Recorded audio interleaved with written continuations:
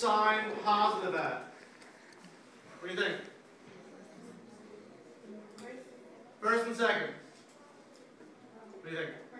First and second. Why? Serish. No, the question is where is sine positive? She said first and second, she said first and second, you said yes, I agree. Why?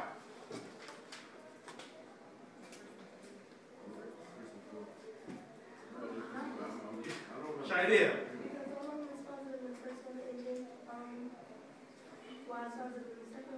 very good. Y is positive in the second one. Right finger down. Thanks for saying sine is positive in the second one. Good, good. So we have here this is going to be the first and second. One and two.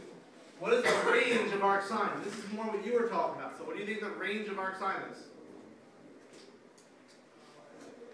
You just explained it.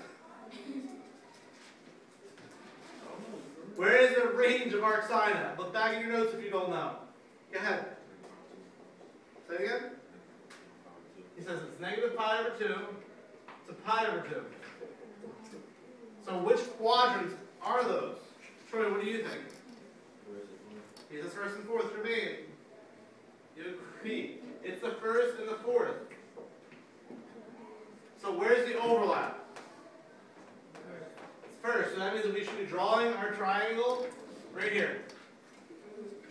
If you did not get your triangle there, draw it there. Now take about 60 more seconds come up with an answer